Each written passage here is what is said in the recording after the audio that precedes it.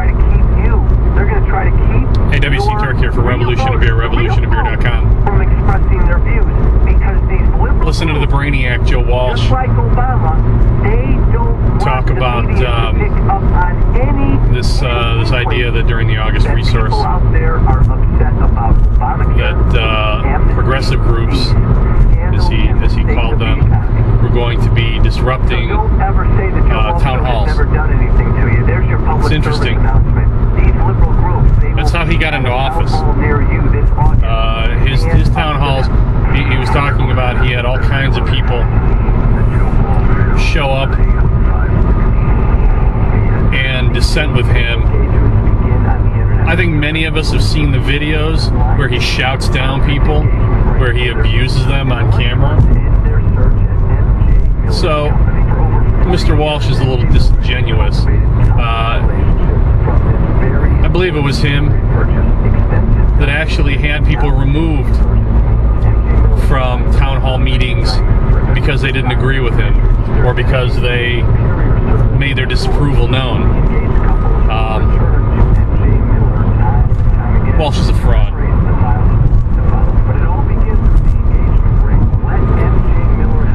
And we aim to let him know it. Um, calls the uh, the progressive groups and the progressives that are going to go there and quote unquote interfere with Republicans' ability to address grievances or redress grievances with their their elected officials. Um, last I checked, progressive people were citizens as well. Progressive people had had a right to air their grievances. What he's not telling you is that on the on the right wing, they want to get out and relive the old Tea Party days, in which, like a famous meeting that I was at um, with Jan Schakowsky in Arlington Heights, in which hundreds of Tea Party activists showed up, calling Obama and right wingers calling Obama a Nazi, were there to scream and holler and basically regurgitate all of the diarrheal hairball like information that the right wing coughs up uh, and pre programs them into, uh, into retorting. I like that sentence. All right. But they're out to disrupt town hall meetings as well. They just don't like the other side having a say, which is pretty much why they own all the media, because they don't want you to have a say. They want pre-programmed messages. So all of the talking points that they hit over and over and over again, those those are the messages they want you to carry. Pro-gun, anti-immigrant, um, pro-corporation.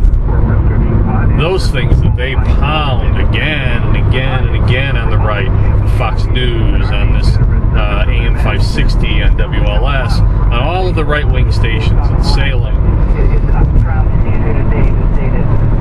They want their robots out there. So get ready, folks. It's going to be a good August. The Revolution and Beer is going to be there. We're going to be on the front lines, bringing you those stories from those town halls, as many as we can get to, uh, to see who disrupts who. I can guarantee you it's going to be the right wing talking about birther stuff, talking about all of the things that Fox News and all the right in corporate America wants them to say that pushes their agenda forward and gets these poor people, retirees, fixed income people, people struggling for work, it's all those people to work and struggle and vote against their own best interests.